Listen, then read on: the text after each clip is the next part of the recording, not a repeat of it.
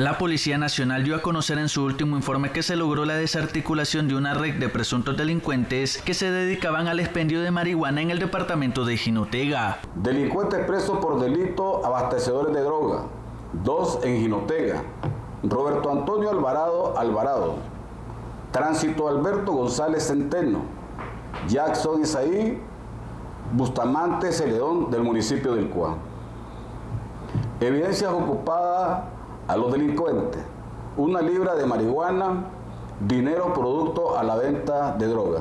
Durante el informe también se destacó los resultados obtenidos en la campaña Mujeres por la Vida, Mujeres Paz y Bien. Cinco delincuentes presos por delitos que atentan contra la vida y la dignidad de la mujer en los municipios.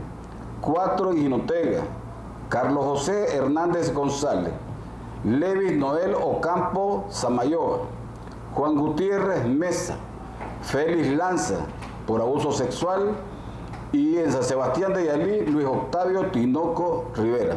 Delincuentes y evidencia fueron remitidos a las autoridades competentes. En Crónica TN8, Luis Alberto Peralta.